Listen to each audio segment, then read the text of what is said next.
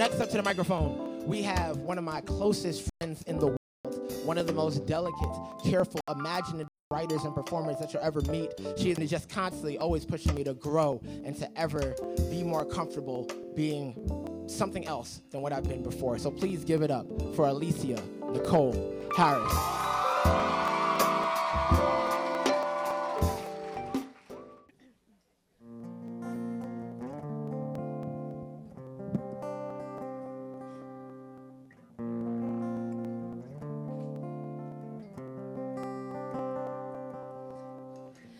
Depth over distance every time, my dear.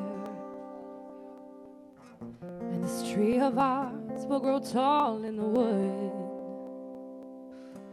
But it's the roots that will bind us here to the ground.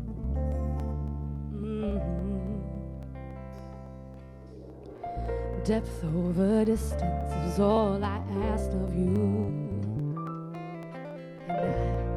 I, may be foolish to fall as I do. Still, it's the strength in the blindness you feel if you come into. mm,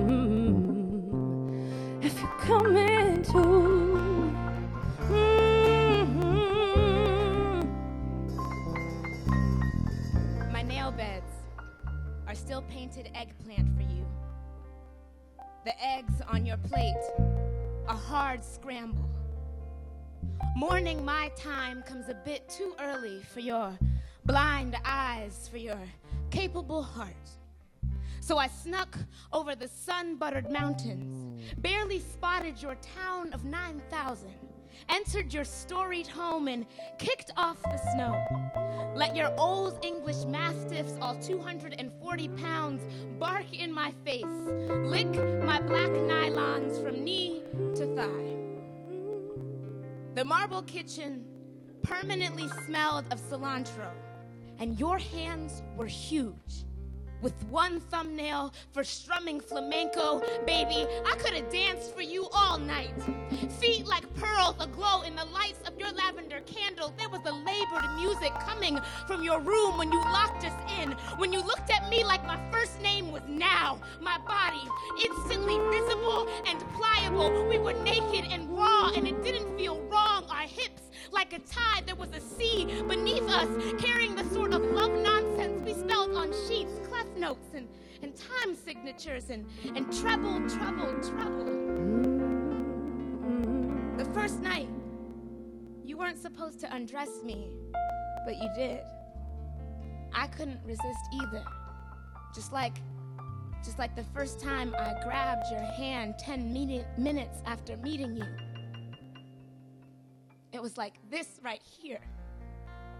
This artist, this autistic genius, this flawed beauty, this man who plants lilacs and drinks vinegar in the morning. So it wasn't surprising how quickly it all went sour.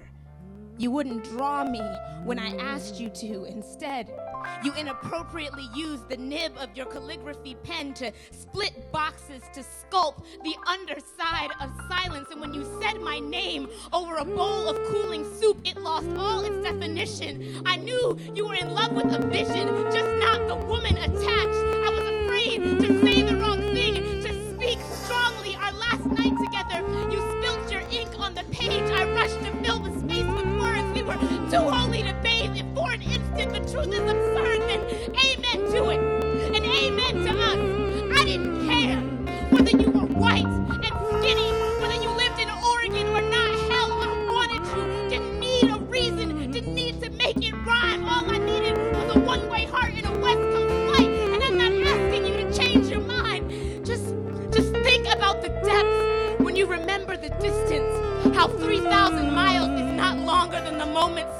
spent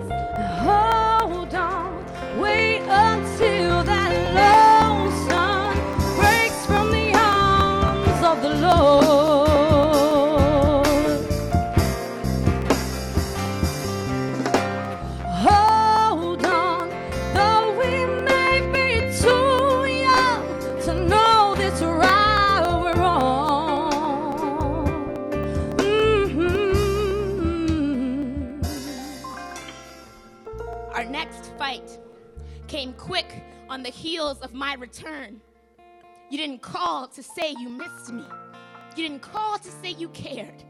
And just like that, we were over. Easy. I half laughed, half cried. Didn't know if it was the jet lag or if I had just gotten used to sleeping in late and calling you mine, but but the whole time your bed was low and flat, scarcely six inches off the ground.